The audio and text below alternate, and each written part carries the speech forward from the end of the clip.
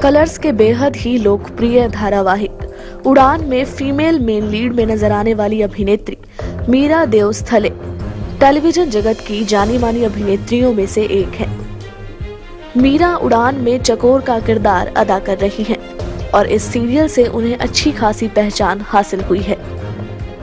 लेकिन अपनी इस रिपोर्ट में हम आपको मीरा से जुड़ी एक ऐसी बात बताने जा रहे हैं जिसके बारे में शायद आप ना जानते हो।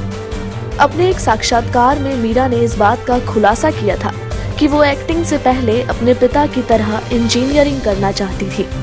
उन्हें हमेशा से अपने पिता पर प्राउड रहा है।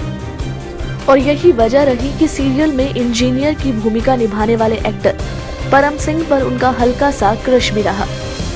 इसके साथ ही वो ये भी कहती हैं कि जिस वक्त वो स्कूल में थी, उस वक्त पर वो सीरियल साडा हक देखा करती थी। और उन्हें परम सिंह और उनकी को एक्ट्रेस की केमिस्ट्री काफ़ी अच्छी लगती थी। टेलीविज़न जगत से जुड़ी ताज़ा तरीन खबरों के लिए हमारे चैनल को सब्सक्राइब करना ना भूलें, ताकि आप तक पहुँचता रहे हमारा हर लेटेस्ट update.